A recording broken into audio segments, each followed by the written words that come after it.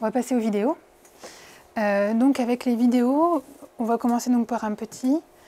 Euh, donc lui, euh, donc je vais vous montrer d'abord un extrait de son évaluation.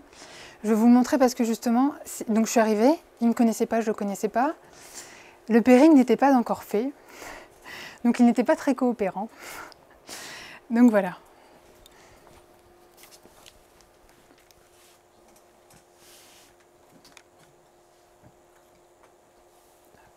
Pas ça.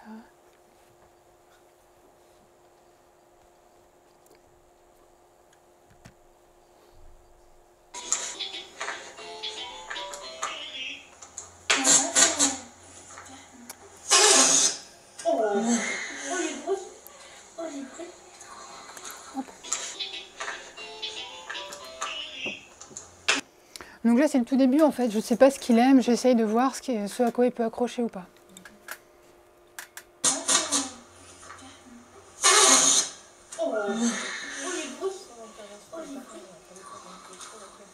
Pardon Il n'y a pas d'intervention des parents là, vous êtes seul avec l'enfant Non, par contre, comme vous allez le voir, en fait, l'évaluation ne va pas bien se passer parce que le pairing n'est pas fait. Et du coup, après, j'ai demandé à la maman de, de passer l'évaluation avec moi parce que du coup, elle, elle a pu euh, demander à son enfant de faire des choses. Non, il n'est pas chatouilleux.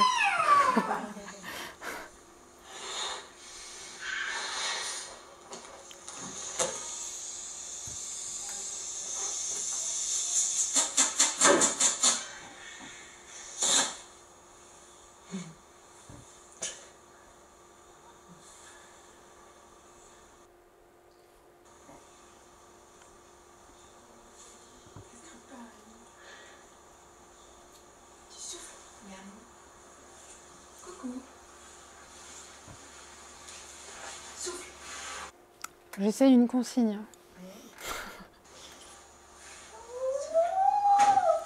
Non, il n'est pas prêt pour une consigne. Donc voilà, là déjà je vois que dès que enfin, tant que je suis uniquement sur du jeu, qui peut apprécier, ça va. Dès que je demande un petit effort, voilà.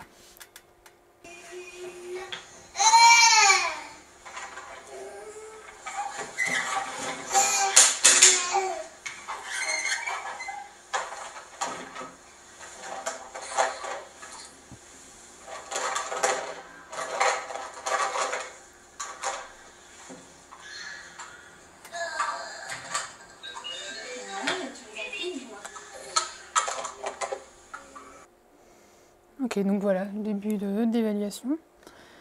Et puis...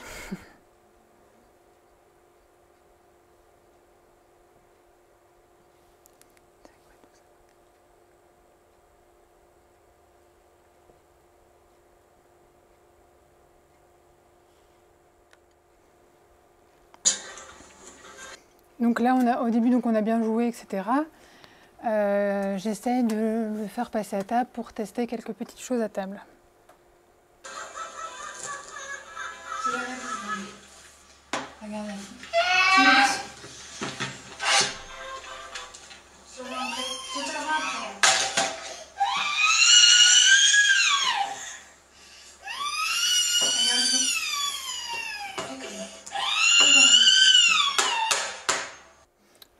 Un peu quand même pour voir s'il y a éventuellement la compétence.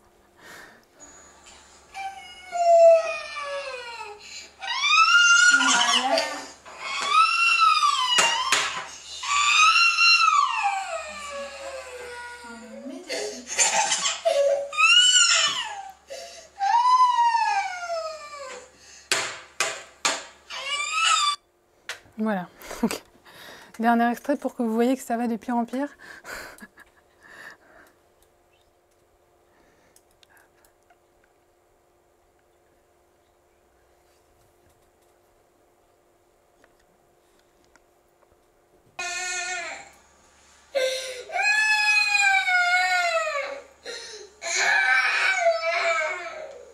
voilà, là il ne veut plus rien faire. Donc c'est juste pour dire que le pairing n'est pas encore établi et du coup parfois euh, si on en a la possibilité avant d'évaluer c'est bien de pouvoir venir faire une séance ou deux de pairing pour réellement tester les compétences de l'enfant. Parce que là, en fait, je vois juste qu'il n'est pas coopérant, mais je ne peux pas forcément tester toutes ses compétences. même si, euh, effectivement, il n'en avait, avait pas beaucoup à la base.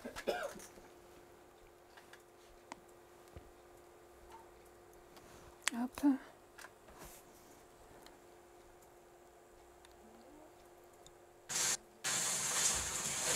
Donc là, c'est quatre mois après. Donc on a mis en place, euh, il avait je crois 25 heures de séance par semaine. On avait euh, axé le programme sur le développement donc, des demandes. Il avait, il avait rien au début, hein, il ne savait rien demander. Euh, le développement des demandes, le développement des jeux, etc. Donc là, je, bah, je vous montrer juste le travail des demandes.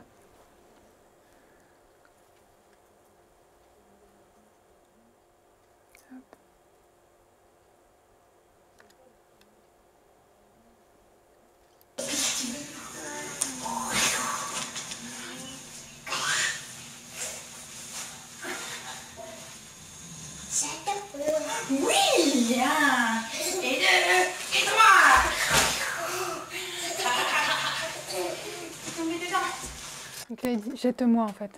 Donc on, juste on crée, on, fixe quelques demandes à travailler. Je sais pas, là je crois qu'on travaillait, euh, voilà, jeter et puis sauter ou je ne sais plus quoi. Et on, essaye de donc, trouver des situations rigolotes pour les travailler, forcément pour qu'ils soient motivés. Et on essaye de les travailler de manière plutôt intensive pour qu'ils puissent euh, avoir beaucoup d'essais. Voilà. Donc là, c'est une montagne de coussins et de machins, et ça l'éclate euh, d'atterrir là-dedans. Hop. Et puis, ah la deuxième demande, c'est l'avion qu'on travaillait. Donc il n'est plus du tout hein, dans la fuite. Le pairing est fait. Et il prend pas mal de plaisir pendant la séance.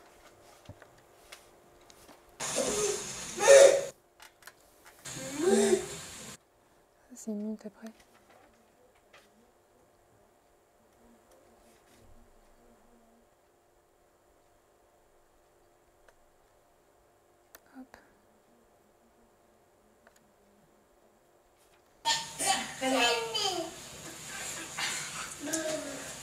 Ah, avion. Ouais. Oh, attention. Attends. Attends, Les yeux sont petits poids. oh. Ah.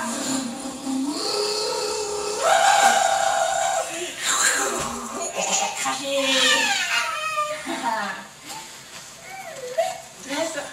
Donc voilà, c'est juste pour montrer le travail des demandes. Donc enfin, globalement, c'est ludique, hein, la BA. On est vraiment... Euh, quand on travaille comme ça en environnement naturel, on crée vraiment des situations de jeu rigolotes pour que l'enfant soit motivé, qu'il ait envie de demander, qu'il ait envie d'interagir, etc. Hop. Ensuite, euh, bah, on a aussi commencé avec lui, euh, je crois au bout de deux mois, un peu de travail à table. Donc juste pour enfin, demander des petites imitations, un peu de vocabulaire, euh, un peu de...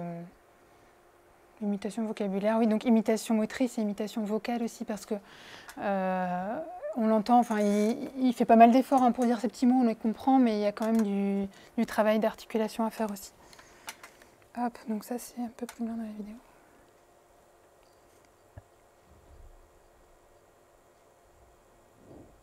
Et donc vous voyez, hein, on est bien en enseignement sans erreur, je lui donne tout de suite l'aide, je ne le laisse pas essayer de dire des mots qu'il n'arrive pas à dire, ou il se trompe, etc. Euh, et directement après, il a accès à ce qu'il demande.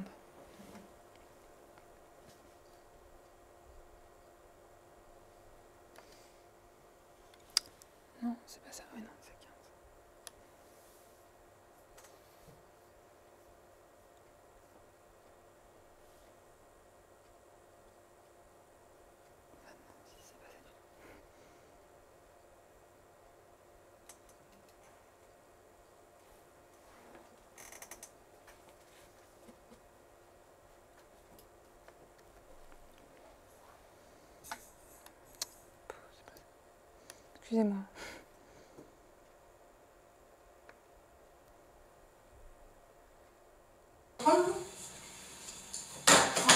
Prends l'ardoise. Voilà.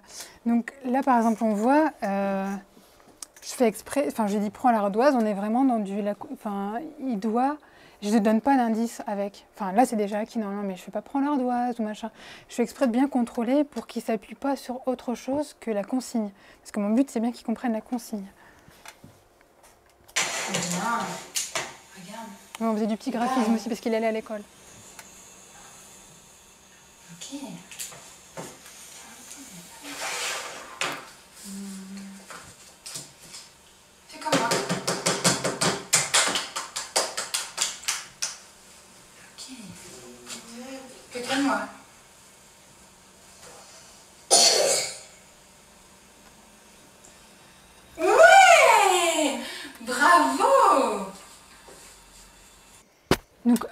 Avec des renforçateurs alimentaires avec lui à table. bon, il aime beaucoup les... En dehors du temps à table, il aime beaucoup l'interaction physique, sauter, chatouiller, machin. Mais à table, c'est hyper puissant les renforçateurs alimentaires et on n'a pas de, pour l'instant, on n'a pas enfin, on pas de choses qui permettent vraiment, euh, qui le motivent suffisamment. Mais vous voyez, c'est des tout petits bouts. Hein.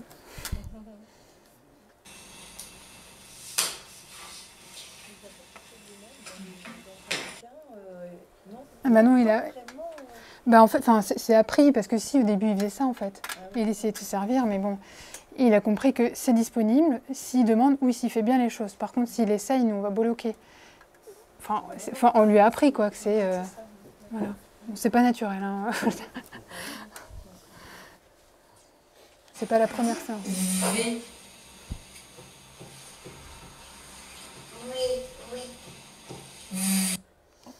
Donc là, en fait, c'est vrai que je ne l'ai pas fait au début, mais quand on travaille du vocabulaire, enfin du, l'articulation, c'est souvent tellement coûteux, dur pour eux, qu'on travaille avec une promesse.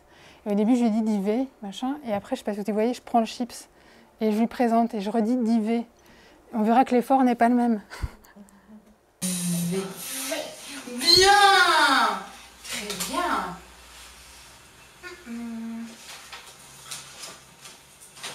Donc lui, pour le moment, pareil, on est sur du renforcement fréquent. Mais avec, enfin, vous verrez après avec l'enfant qui a 9 ans, on, est, on renforce tous les 15-20 euh, réponses. Quoi. On est sur des choses beaucoup plus euh, espacées. Montre les chips. Montre les chips. Alors, je ne vais pas donner d'aide tout de suite parce que c'est censé être acquis. Sinon, je vais redonner une aide tout de suite. On est, on est normalement sur l'enseignement sans erreur. Et puis là, ben, ben du coup, je pensais passer. Enfin, je mets juste deux secondes en arrière. Voilà. J'ai donné une guidance verbale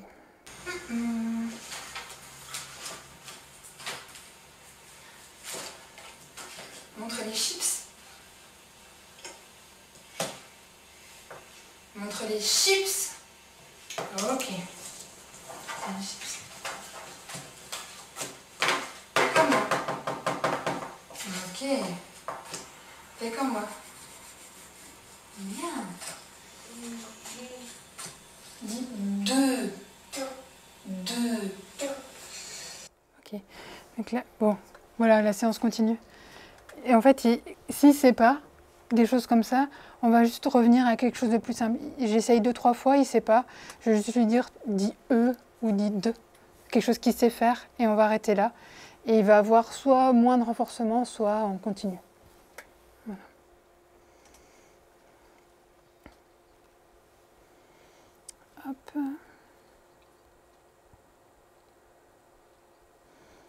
Donc voilà, c'est ce que je disais, avec lui on faisait du donc 80% du travail en environnement naturel. Ce travail à table en fait il représente que 20% de ce qu'on travaille avec lui parce qu'il est petit. Pour lui c'est important de développer, ben, de développer plein d'autres choses, notamment savoir demander, ça se passe en environnement naturel avec la motivation, euh, savoir développer des loisirs, donc on lui, apprenait aussi à faire du vélo, à faire des puzzles, à faire tout ça. Euh, D'autonomie aussi, donc euh, à chaque fois qu'on sortait, mettre le manteau, c'est un apprentissage, se laver les mains, c'est un apprentissage, avec des chaînages, bien sûr. Et puis, donc à table, comme je disais, un peu d'imitation motrice et vocale, un peu de vocabulaire, de graphisme simple. Donc là, le deuxième enfant, euh, il a 9 ans. Lui, il est dans un programme ABA depuis plusieurs années. Donc il, euh, a commencé bah, il a commencé à un niveau bas aussi. hein. Il arrivait pas. Bon, il a vu très peu de vocabulaire, euh, très peu de compétences. Et puis, euh, donc là, euh, il a 9 ans donc sur la vidéo.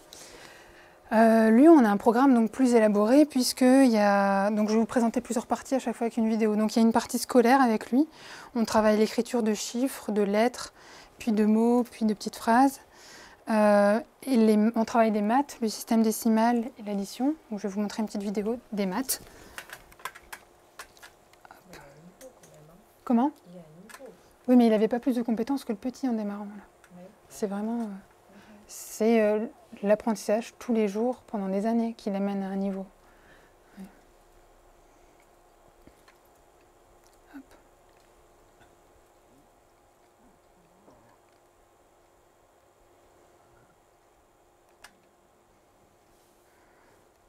Donc ça, c'est avant qu'on enseigne. On, a fait notre ligne de base pour savoir où il en était. Ok, maintenant on va prendre celui-là. Comment ça s'appelle ça? Pierre. C'est quoi? Une centaine. Une centaine. Qu'est-ce que c'est? Une centaine. Ouais. Et regarde, après on a encore plus gros. Comment ça s'appelle tout ça? What? C'est pas faux ce qu'il dit, hein. tout ce qu'il en connaît. Qu'est-ce que c'est? Un millier. Un millier. Un millier. Un millier. Donc il a des problèmes d'articulation aussi. hein. On, a- on, y. Millier. Millier. Ok, un millier. Et ça, redis-moi, qu'est-ce que c'est? Une unité. Une unité. Pose tes mains. Une unité. Unité. Unité. Hop, voilà. Et puis, ça aussi, avant l'enseignement. Tes mains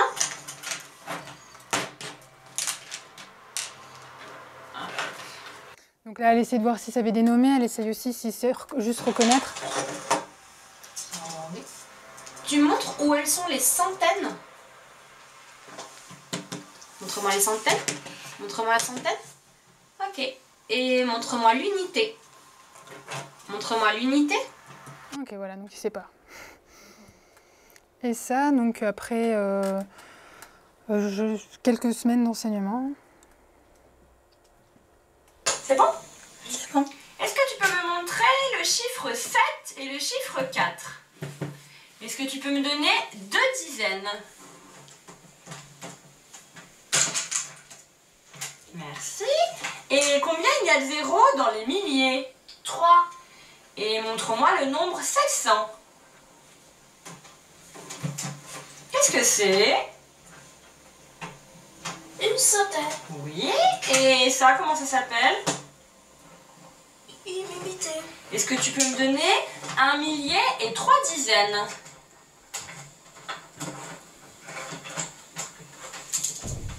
Est-ce que tu peux me donner un millier et trois dizaines? Ok. Tu me donnes un millier et trois dizaines Donc à chaque fois, en fait, c'est censé être acquis. Il s'est trompé, elle le corrige, elle redonne l'opportunité derrière qu'il réponde seul après avoir eu l'aide. Ah oui, Et non. combien il y a de zéros aux centaines? 2. Et combien il y a de zéros aux unités? Il n'y en a pas. Qu'est-ce que tu lis? 4 mais. Oui, 4000 Excellent, mon grand Tu peux couper. Voilà.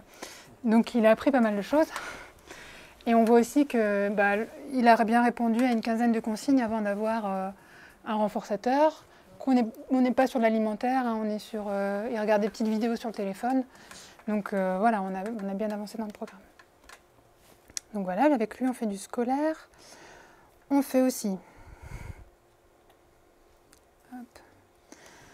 Euh, donc en fait, il apprend dans un format qu'on appelle les modules. Donc ça veut dire qu'on apprend différentes compétences autour d'un thème. Donc avec lui, on a commencé par des thèmes qu'il adore, les trains. Il était fan. Et après, on est passé à d'autres thèmes. Et là, notamment sur la petite vidéo que je vais vous montrer, il apprend des... parce qu'il est scolarisé en CLIS et du coup, on lui apprend des choses autour de l'école, autour de sa classe.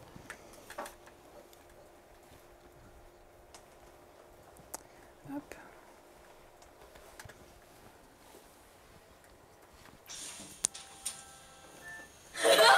Ici Comme ça. V. V. Écris-moi le Écris-moi ti. ti.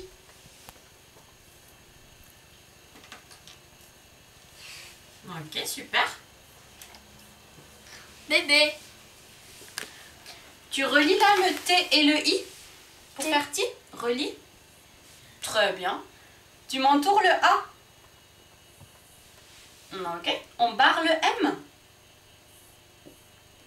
Tu me recopies le O.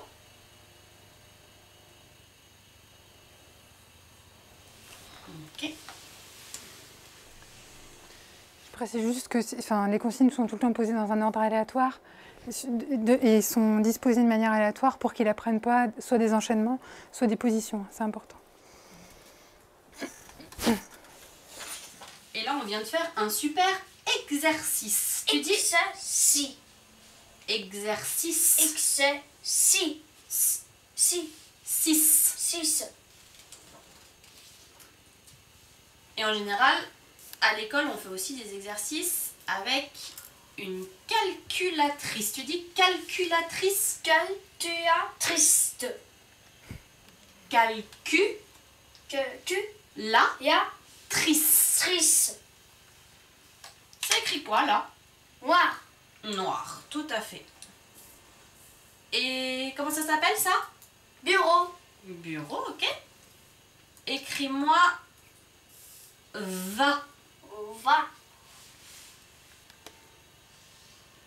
Oui, c'est juste ça va, Kevin. Très bien. Tu prends l'ordinateur? C'est une scène de Cendrillon qu'il adore. De Cendrillon. Ou non, la- Blanche-Neige, pardon. Ok. Donc là, on a vu autour du thème de l'école, elle a travaillé euh, un peu d'écriture par assemblage de syllabes.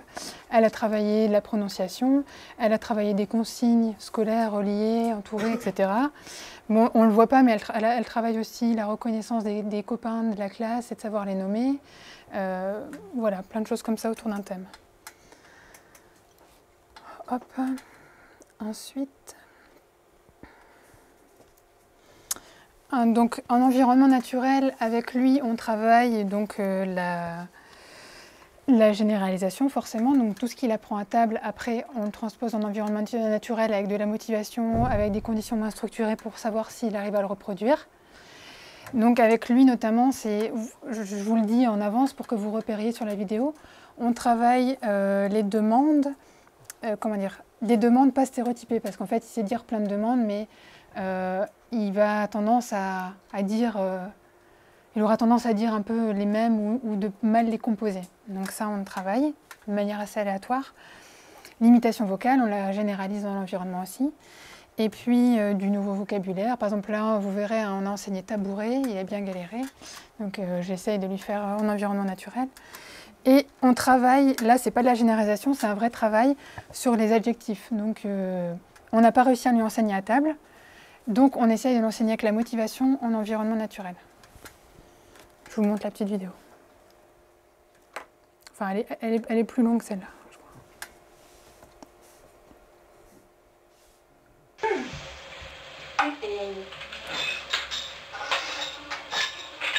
Regarde, j'en ai ramené deux de bougies. Tu veux laquelle?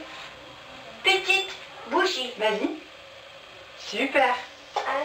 C'est exprès, j'ai une qui rentre pas dedans pour euh, Le briquet qu'il sache. Un briquet. Allume bougie. Une bougie. Qu'est-ce que tu veux? Une bougie. Oh. Regarde, on va les mettre dedans. Tu fermes la porte Regarde, pour, pour fermer la porte.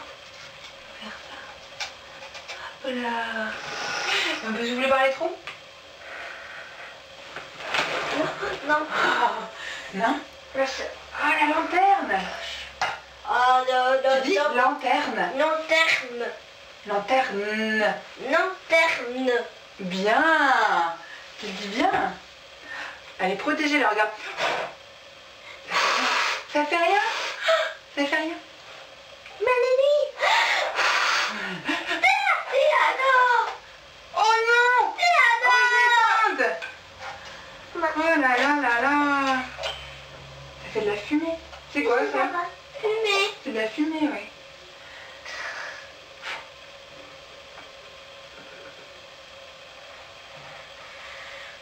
Regarde, on fait des S avec la fumée. J'arrête la fumée Allez, bougie. Hop, j'arrête la fumée. J'allume quelle bougie Allez, le briquet. J'allume quelle bougie Petite bougie. D'accord.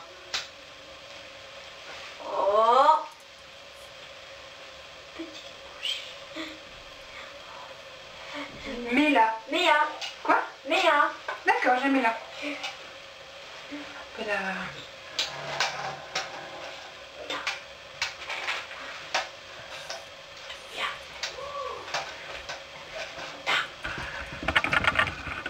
Là, voilà, pour lever.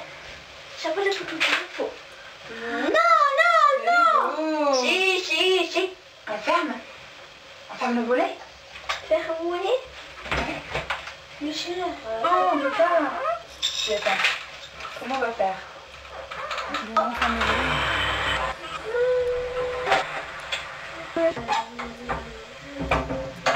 Oh La lanterne. T'as vu ça? La lanterne magique comme dans Aladdin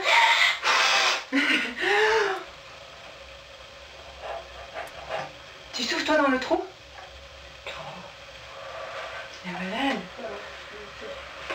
Oh Où est-ce qu'elle est la lanterne Sur la Cherche. D'accord. Bien regarde.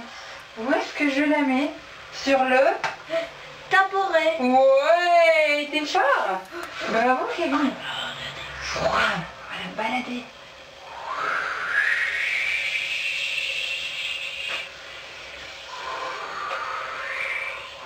C'est une lanterne volante Pour le Tu dis pied. Lanterne volante. Nanterre, volant. Volante. Volante. Bien. Qu'est-ce que tu veux? Pose tabouret. Pose taporet. Comment? Pose taporet. D'accord, je te le pose. Attention, c'est chaud Ah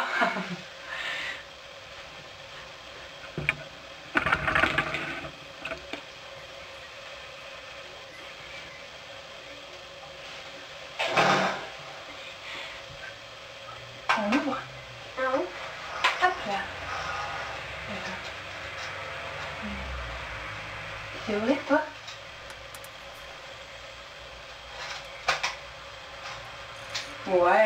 T'es fort. Ah. Et il y a quoi là sur la vitre? C'est quoi ça? Manège. C'est quoi? Étoile. Et toi C'est quoi? Et toi Une étoile, ouais. Oh Voilà. Donc c'était juste pour montrer. Ça paraît pas en fait, on dirait que juste qu'on s'amuse, mais il y a plein d'objectifs dans la séance de travail. C'est ça qu'on appelle les interventions naturalistes. On est en environnement naturel et on fait, en fait, on fait du travail sans s'en rendre compte. Voilà. Par le jeu. C'est important de poser des, bien sûr que ce soit un format où on travaille, mais de ne pas poser trop de questions. Si je le bombarde, juste, je vais tuer sa motivation, c'est tout ce que je vais gagner. Donc il faut, euh, faut savoir doser en fait. Donc vous avez pu repérer hein, ce, qui a été travaillé, le vocabulaire, euh, suivre des consignes, euh, l'articulation, euh, les demandes, etc. Hmm.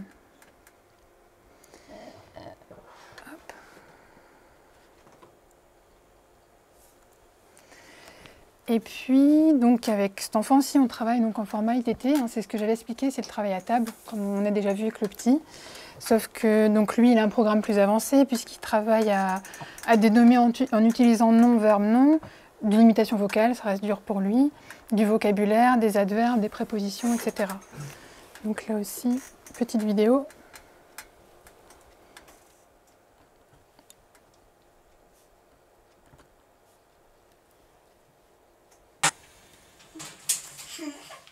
Qu'est-ce que c'est Xérophone.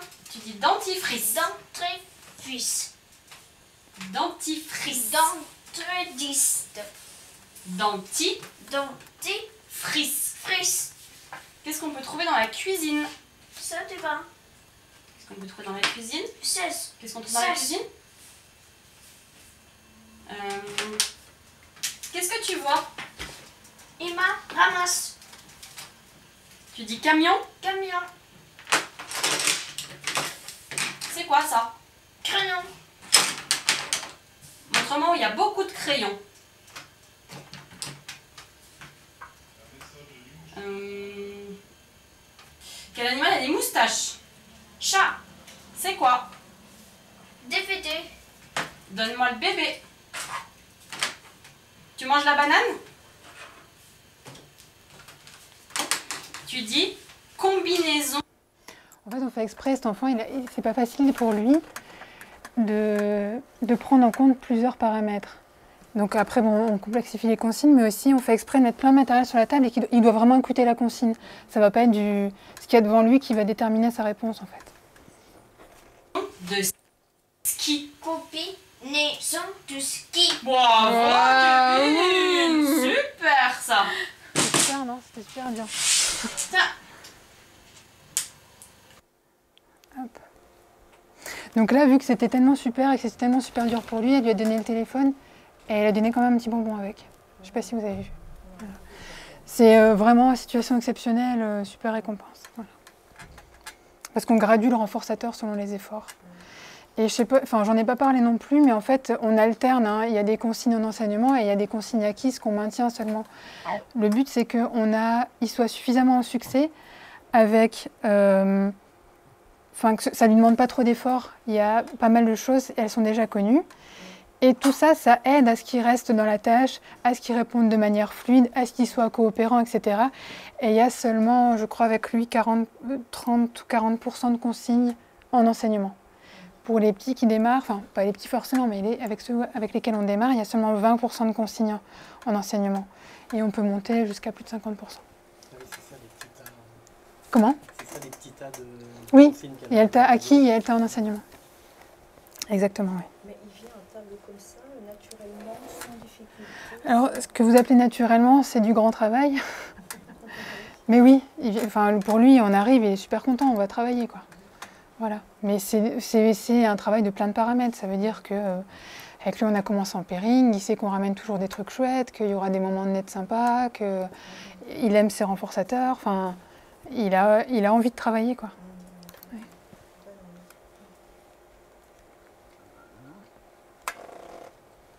Hop, et puis donc le, troisième programme que je voulais présenter, donc là c'est une, une jeune dame de dix- donc 19 ans je crois au moment des films. Euh, donc elle, a un programme, donc sa prise en charge a commencé quand elle avait 15 ans. Euh, elle n'avait pas de moyens de communication, elle avait euh, voilà, assez peu d'autonomie, etc. Donc on a axé sur ça. Donc elle a en 4 ans, elle a acquis 70, 70 demandes signées, donc elle est euh, avec le langage des signes, même si, même si la motricité n'est pas facile, vous le verrez. Euh, on a enseigné à se laver, s'habiller, se brosser les dents, se mettre de la crème, euh, enfin tous les gestes du quotidien, accepter les soins médicaux. Enfin voilà, on a travaillé plein de trucs autour de ça. Donc je vais vous montrer deux petites vidéos. Une, en fait, on lui enseigne à faire une recette avec un support visuel. Et une euh, bah, où on lui enseigne à, euh, à plier du linge. Et pareil, vous verrez avant-après.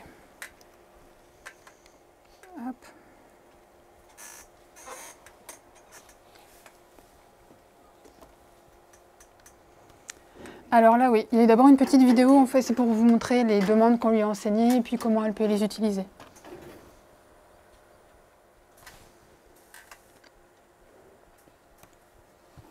C'est un moment sympa, début de séance.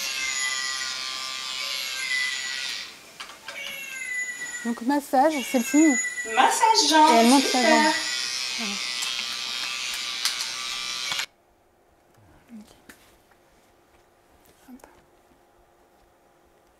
Qu'est-ce qu'elle a sur les bretelles?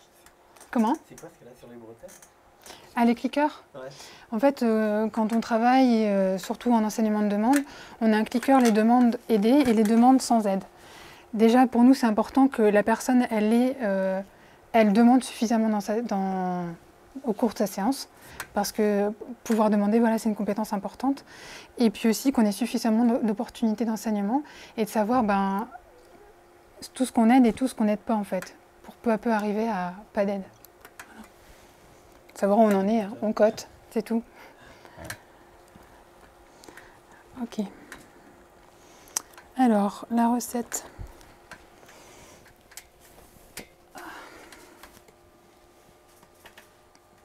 Ok, Lucie. Donc, recette, euh, sa recette visuelle, donc sur la première ligne, en fait, c'est les ingrédients qu'elle doit, doit aller chercher. Et puis, enfin, ingrédients ou ustensiles, hein, il y a les deux.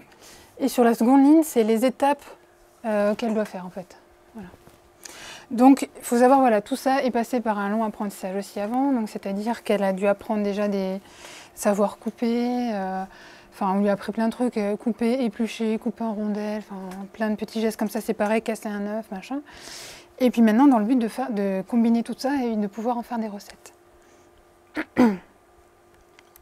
Et voilà, pourtant, vous verrez, elle n'a pas, un- elle a pas un super niveau. hein, C'est une demoiselle qui n'a pas eu euh, un enseignement intensif étant jeune. Tu vas chercher tes ingrédients?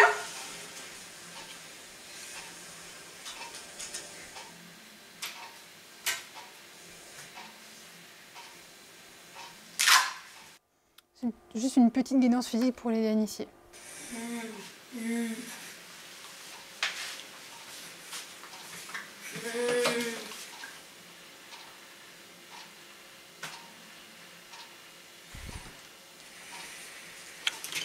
On m'autorise à laisser faire. Je suis une pour que-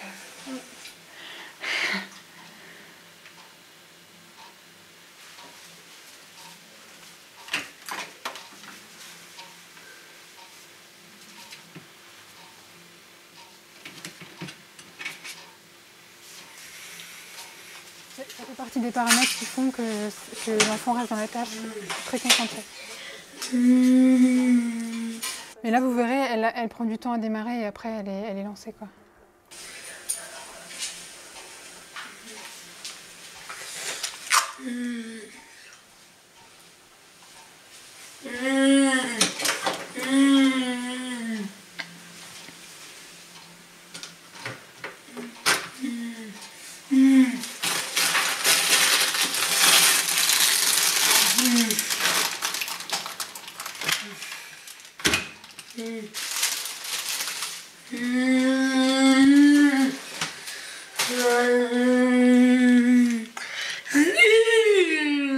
Elle est contente.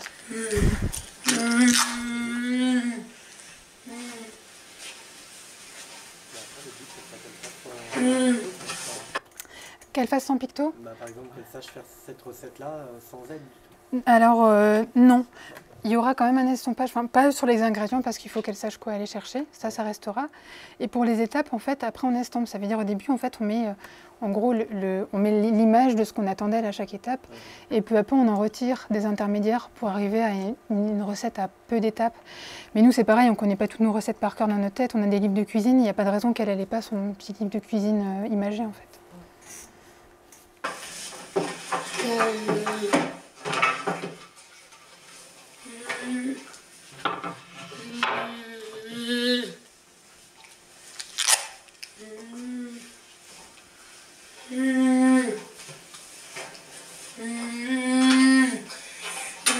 Et juste, je pensais par rapport à votre question, c'est vrai que c'est ce que je disais tout à l'heure, la latence, c'est quelque chose sur laquelle on travaille. Si un enfant il nous répond plus de deux secondes après notre consigne, on considère que c'est faux et on repose la consigne et on, donne l'aide pour qu'il réponde immédiatement. Et on n'accepte pas en fait des temps de latence longs. Voilà, on considère comme une réponse fausse.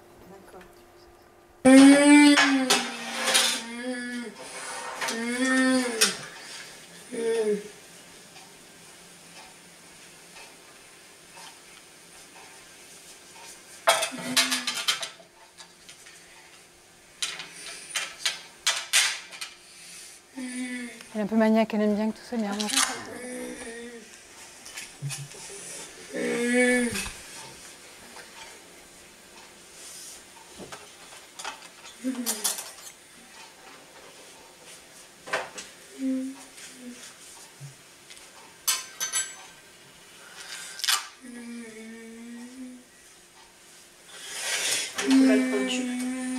que ça change.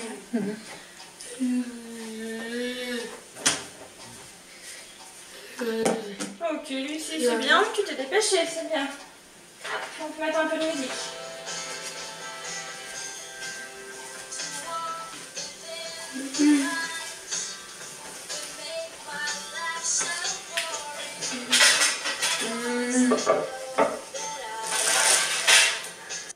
Voilà, donc elle, adore la musique, c'est renforçateur. Mais on voit que, enfin, au début, on renforçait chaque truc. Et après deux, après trois, etc. Donc là, on voit, on peut quand même lui demander euh, un certain nombre d'étapes avant qu'elle ait accès à du renforcement. Donc là, elle a fait tous les. Bon, on va pas faire toute la recette parce que c'est un peu trop long, mais euh, je vous montrer juste après quelques actions. Hop.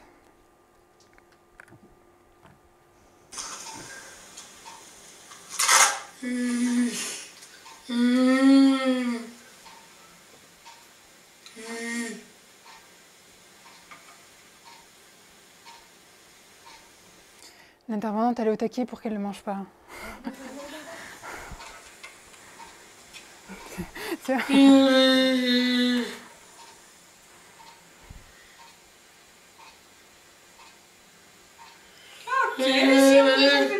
Voilà. Et donc là, c'est l'étape cible qu'on travaille, donc elle la renforce spécifiquement, cette étape-là. Ok, et puis peut-être juste la fin, du coup.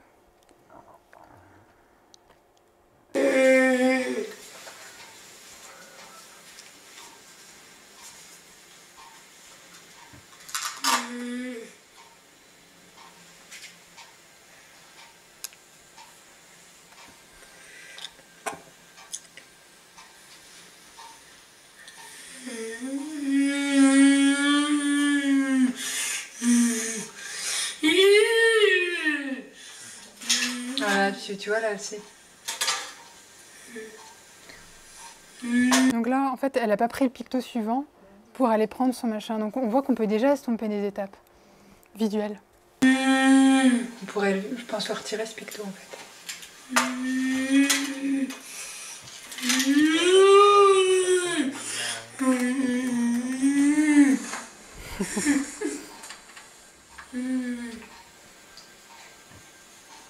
À une main, parfait.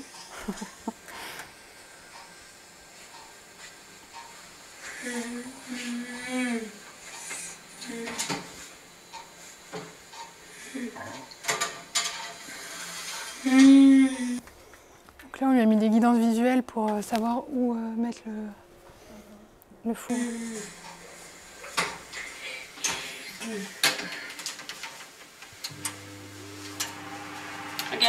Voilà. Hop. Ça, et puis la dernière. Ah oui, donc le pliage, enfin le, la buanderie. Donc on lui a pris du plus simple au plus compliqué. Donc on a commencé les serviettes, euh, les t-shirts, les plus machins. Là on en est aux chaussettes. Donc vous voyez, on, enfin, on est sur de la guidance physique hein, parce que c'est compliqué d'enseigner autrement.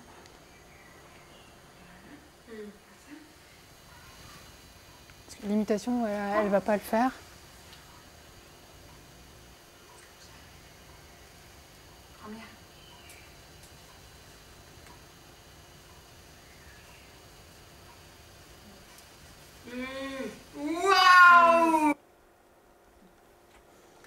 Hop, et puis au final, ben, là, elle en est à, là, donc, vous verrez, c'est encore avec surveillance, etc.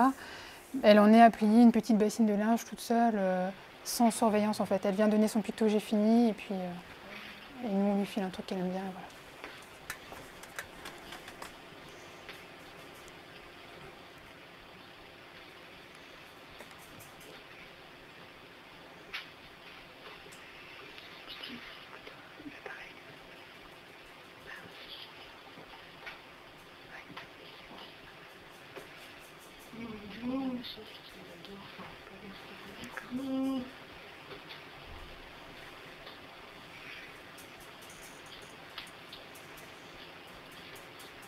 Je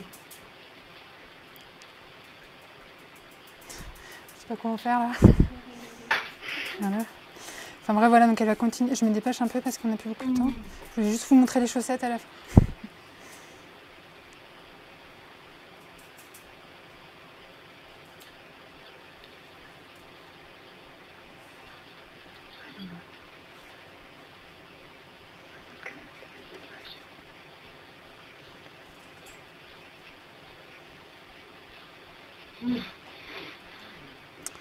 Et voilà. Voilà le travail. Bravo, tu peux avoir la clé. Voilà. Donc c'est vrai que c'est, enfin, ça, ça nous a pris du temps à lui enseigner.